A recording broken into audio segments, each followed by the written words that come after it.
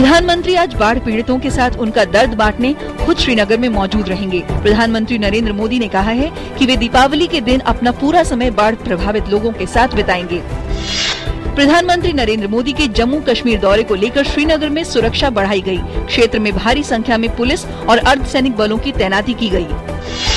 प्रधानमंत्री नरेंद्र मोदी की श्रीनगर यात्रा को लेकर लोगों में काफ़ी उत्साह है। पिछले महीने आई बाढ़ से प्रभावित लोगों को उम्मीद है कि प्रधानमंत्री राहत कार्यों के लिए कोई बड़ी घोषणा कर सकते हैं। दीपावली पर हादसों को रोकने के लिए दिल्ली फायर सर्विस ने खास इंतज़ाम किए। राष्ट्रीय राजधानी क्षेत्र में छप्पन फायर स्टेशनों पर 200 से ज़्यादा फायर इंजन तैनात रहेंगे। दीपावली के मौके पर स्वास्थ्य विशेषज्ञ दमे और दिल के मरीजों को पटाखों से दूर रहने की दे रहे हैं सलाह। त्योहार में गंभीर बीमारी से ग्रस्त लोगों को पटाखों से दूर रहने की दी गई हिदायत।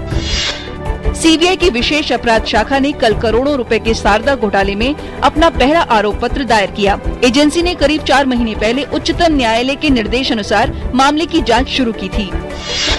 राष्ट्रीय सुरक्षा सलाहकार अजीत डोवाल ने कल अफ़गानिस्तान के राष्ट्रपति अशरफ गनी और मुख्य कार्यकारी अधिकारी अब्दुल्ला अब्दुल्ला से मुलाकात की।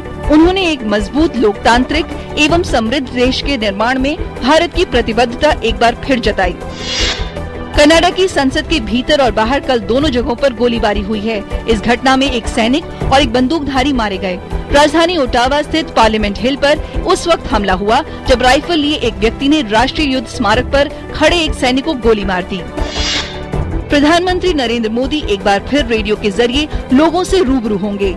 आगामी 2 नवंबर को ऑल इंडिया रेडियो के सभी चैनलों पर मन की बात कार्यक्रम के ज़रिए प्रधानमंत्री लोगों से बात करेंगे।